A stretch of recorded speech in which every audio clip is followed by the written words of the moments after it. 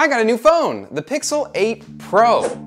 So this video should be very short and sweet. I'm just doing a camera comparison with all the specs maxed out, 4K, 60 frames a second, all of that stuff on the Pixel 6 Pro, which you're looking at me on right now, versus the Pixel 8 Pro. Let's get right into it. This is the Pixel 6 Pro, and this is the Pixel 8 Pro.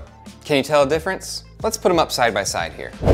All right, let's take a look at these things. Obviously, these are drastically different video experiences. I'm kidding, to me, they look about the same. I mean, I do have a preference. I do like the Pixel 8 Pro's look better. It seems to be handling the lighting better around the face a little bit softer look overall, a little bit warmer tones, and the color accuracy is a little bit more natural compared to the Pixel 6. Also, when zooming in, the Pixel 8 Pro retains a little bit more detail. But when I say a little bit, I mean a little bit. Okay, let's move on to another test. One thing that I didn't love about the Pixel 6 Pro that I had as far as video goes is the white balance kept changing. I know you can lock it in, but if I forgot to, as I move backwards and forwards, the creamish colored looking wall would turn kind of greenish or reddish, that sort of thing. And we're back to the 8 Pro. Is it changing the white balance of the picture? Are the cream colored walls changing color? All right, what about for product showcase?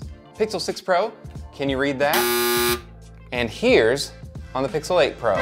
Let's try it again. Pixel 6 Pro, can you read that Pixel 8 Pro? So I'm gonna be switching to the Pixel 8 Pro on this channel and no, I don't have a fancy camera like a lot of channels do. I'm just using my phone. And in this case, the Pixel 8 Pro is pretty good. It looks pretty nice. And with a budget vlogging style mic and stuff, not bad at all. Anyway, guys, I know this video is a little different, but I was gonna do that comparison anyway to see how it might look compared from the 6 Pro to the 8 Pro, and I thought you might care too. That's it, short and sweet. We'll catch you in the next one. Maybe go watch the video about the budget vlogging setup that I'm using right now, a wireless mic. I'll link that here.